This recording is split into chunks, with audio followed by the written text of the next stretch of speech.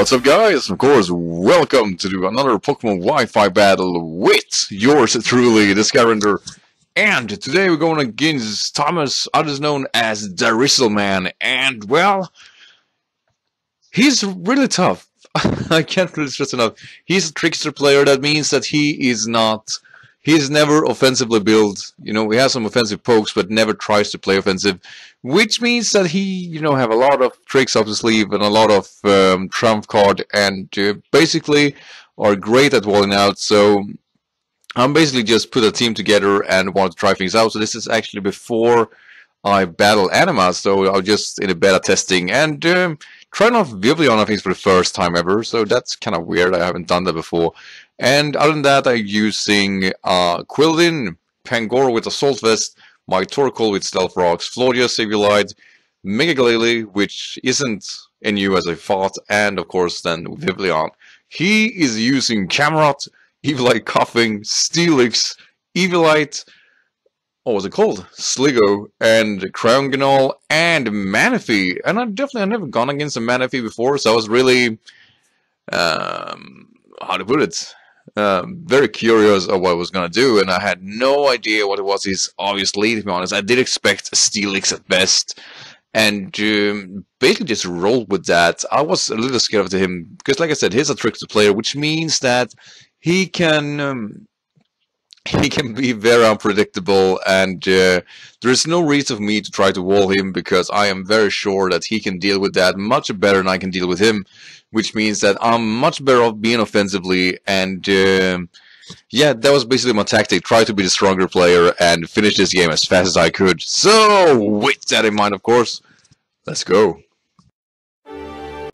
And oh yeah, I start off with Quilladin, and um, the reason I do that is because I did expect to Steelix.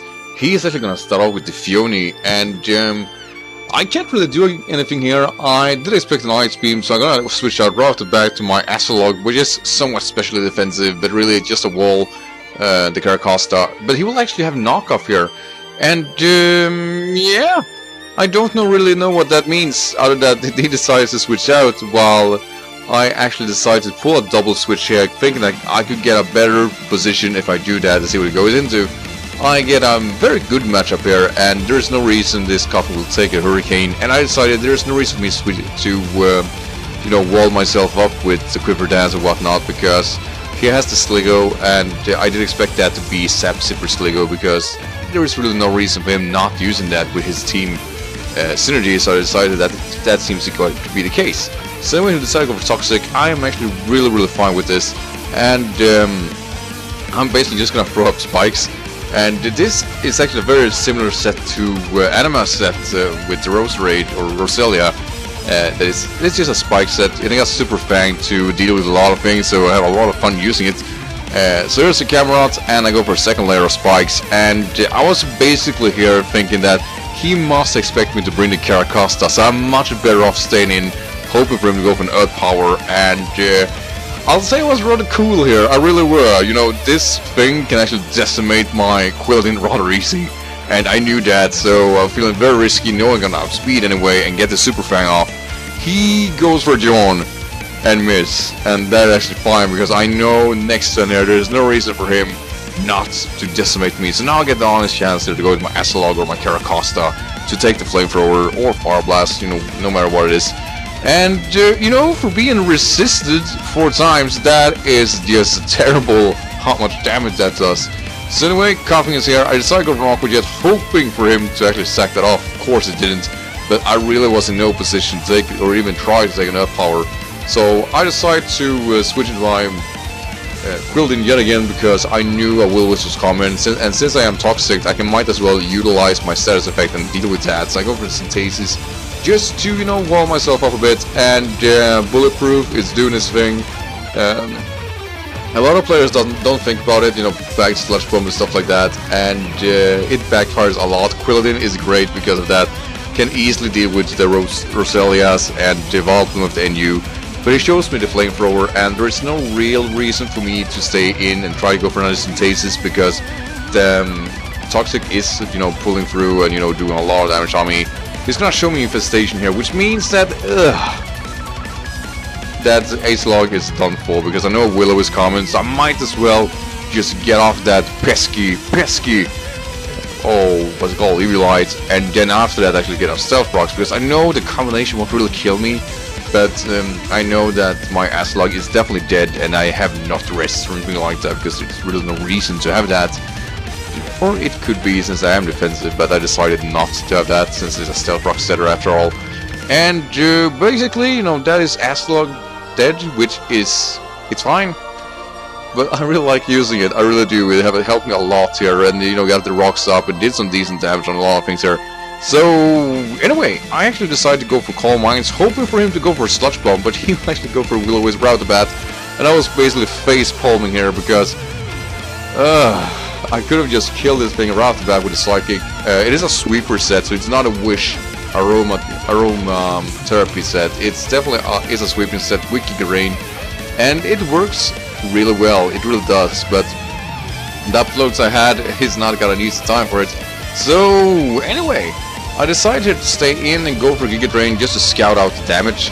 I knew that this thing could have Iron Head or Gyro Ball, but I thought that he might go for Stealth Rocks first before even doing that. So I had in mind that he probably will go for an Iron Head, so I was thinking Quilladin can, you know, work this thing around, you know, really, really dent it if that were the case.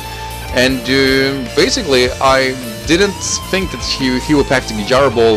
Had I stayed in here, a Gyro Ball would actually not do that much damage, but Quilladin is totally immune to it, so it was a win-win really. But Quilladin is in such a low HP, so I decided to, I could go for Synthesis and, you know, trying to be Stolly, or I could set up a Leech Seed and try to recover back on my HP because I know I can take, you know, one hit whatsoever on this thing. But it has the Dragon Tail. That basically killed my Quilladin because of the Toxic Stealth Rock combination. And uh, basically I am better off using my Silmeria here. But I was thinking at least that since the situation is somewhat dire, I might as well utilize the situation, get some Leech Seed back, and then sack off my Quilladin because I really don't like or rather, I did not know how much a Gyro might do, consider the set of course. So yeah, with the combination, like I said, there is enough to kill me, and Earthquake of course gonna kill me. That would be actually very terrifying if it didn't. anyway, with that happening, I'm gonna go back to Silmeria and uh, basically, no, I went for Flay, sorry, I went for Flay for go for a knockoff because Getting the leftovers our way really means that it has no way of recover properly. And he'll go for Dragon Tail, of course, there's no reason not to. Not doing that much damage, so when I saw that, I did realize that I can most likely take a Gyro Ball, so I don't need to switch out or anything like that, I can just go for Giga Drain. It's not gonna kill, it really isn't. But after seeing this damage, I definitely realized that my Giga Drain gave back the same amount of HP that this Gyro will do when I had a Calm Mind back up which meant that I basically sacked my Quilladin for nothing because this Gyro did just that, nothing. And you know, th that is fine. It's frustrating, yeah, but at the same time, it's stealing, so you kind of have to have a huge respect for that Pokemon because it can actually obliterate teams with the right positions, of course.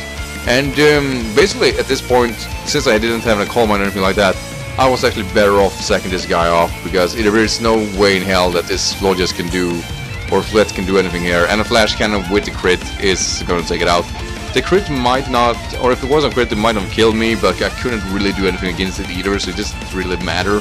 So anyway, he's gonna decide here to uh, sack off his Camerupt which, you know, a Mega Pokemon it didn't really get that utilized and it was because the team premise was just that good and I worked around it so well and they definitely decimated Camerupt really early on with a Super Fang, of course.